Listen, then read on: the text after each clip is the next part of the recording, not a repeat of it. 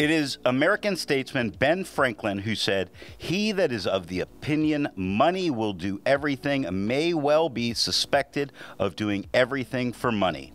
In this lesson, we're going to compute pay based on a percentage commission.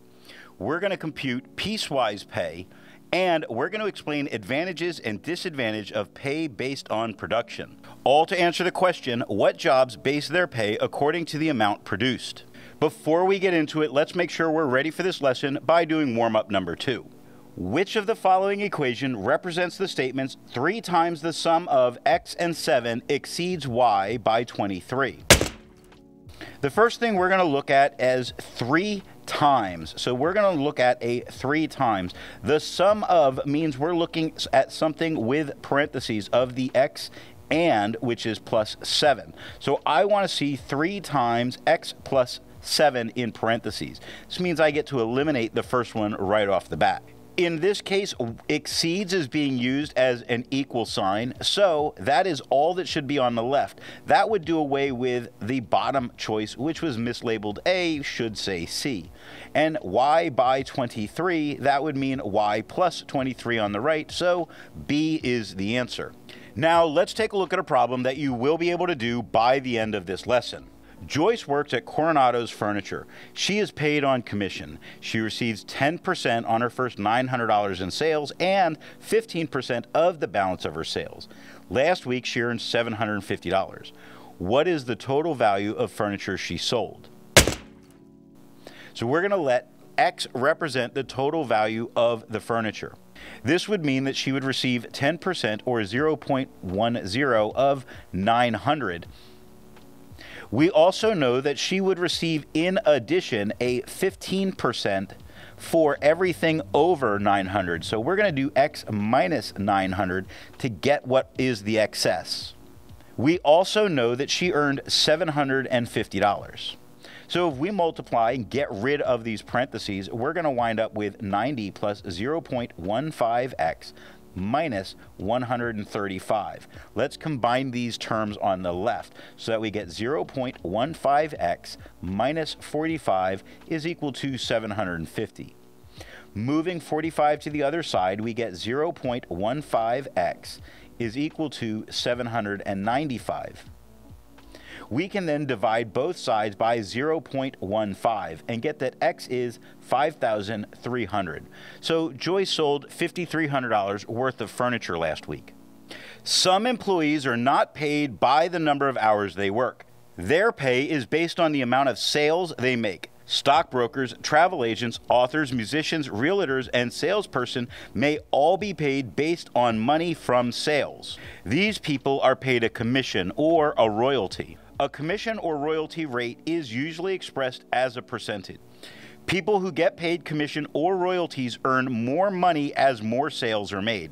Even if they work many hours, they can earn very little money if they make very few sales. Some employees get a commission in addition to a regular salary. Can you think of any advantages or disadvantages to getting paid only a commission? A real estate salesperson receives a commission on a sale of each home. The salesperson makes no money until there is a sale. When an author writes a book, the author's job is basically done. Royalties depend on sales, but the author does not have to do any more writing to make any more money. However, an author can do promotional events and book signings to increase awareness of the book, which may increase sales. Compare commission work to people who are paid according to the amount of items they produce. They are paid by production rather than by the length of time it takes for them to do the work. These employees are called piece workers. Piece workers are paid on a certain amount of money called piecework rate for each item they complete.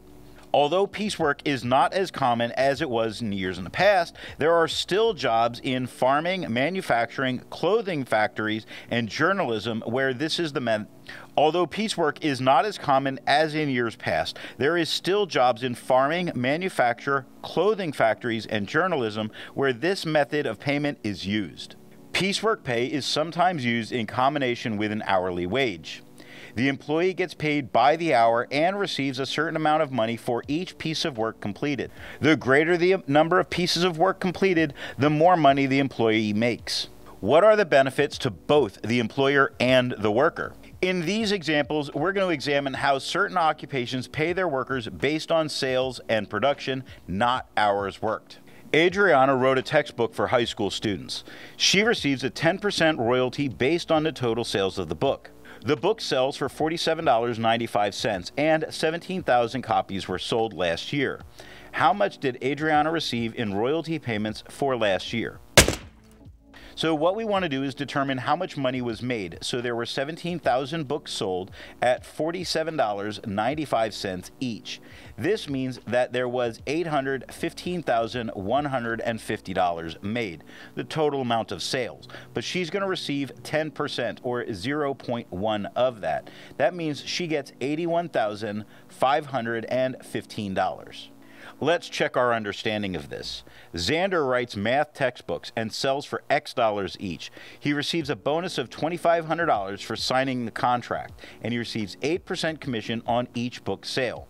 Express the total amount of income Xander earned from selling Y books algebraically. Well, 8% commission would be represented as 0.08. This is 8% of the sale price X of each book. If he sold Y books in total, then we would multiply that to get the total amount that is earned. But there was also the $2,500 that was given as a bonus check. Now let's compute pay based on a percentage of commission. Allison sells cosmetics part time from door to door. She is paid a monthly commission. She receives 11% of her first $900 in sales and 17% of the balance or the remainder of her sales. Last month, she sold $1,250 worth of cosmetics. How much commission did she earn last month? Well, for the first $900, she earned 11%, so 0.11. When we multiply that, we find that $99 was earned.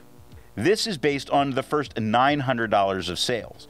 But 1250 minus 900 is going to give us 350 that she is going to earn an additional 17% on. So we can multiply that by 0.17 to get $59.50.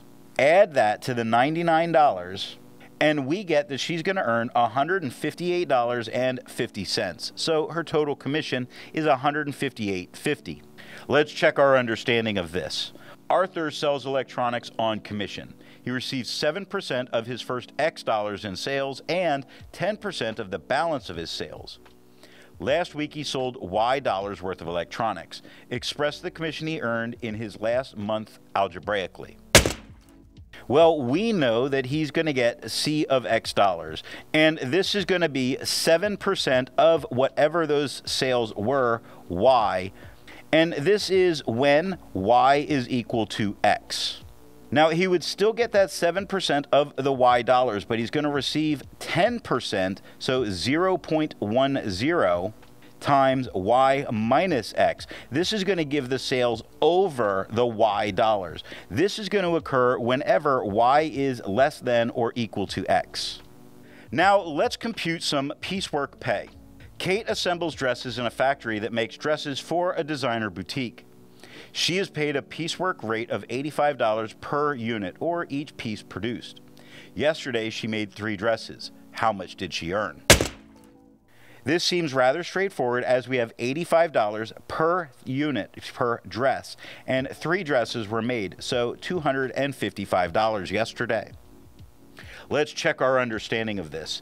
Martin writes magazine articles. He's paid a rate of P dollars for each article he writes. Last year, he wrote S articles. Express his total piecework earnings algebraically. Well, since he's paid P dollars for an article and he wrote S articles, that's how much money he would get paid that year.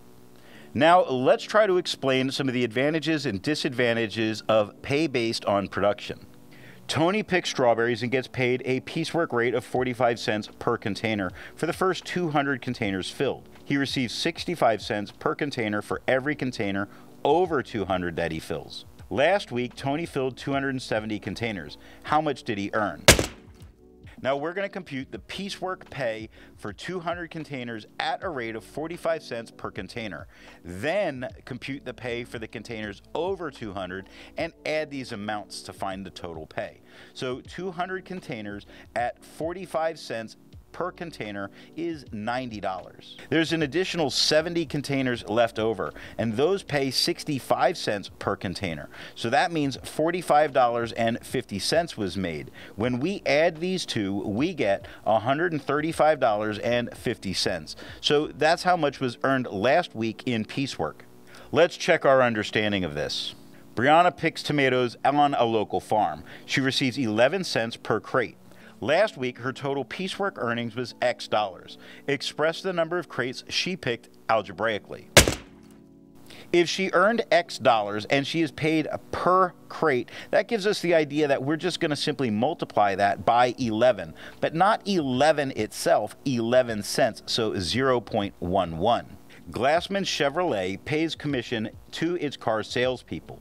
They are paid a percentage of profit the dealership makes on the car, not the sale price of the car.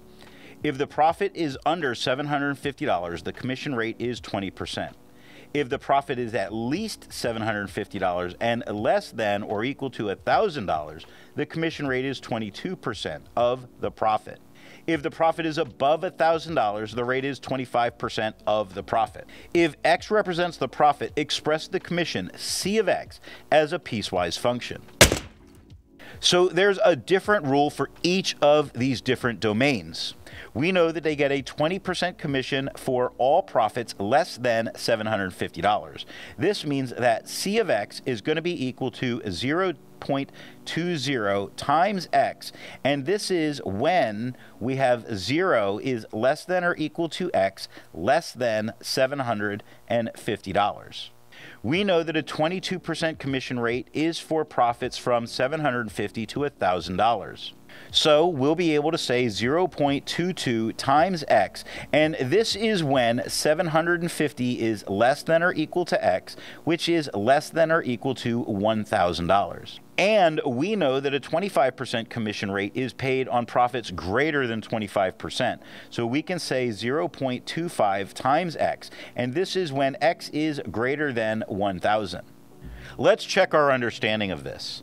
Let's find the difference between the commission paid if a Glassman Chevrolet salesman from example 5 sells a car for $750 profit compared to selling a car for $749 profit.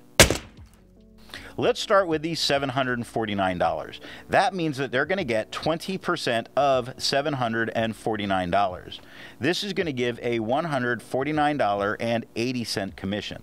But what if the car sold for a $750 profit? Well, then we would be multiplying by 0.22, and that would give us a $165 commission.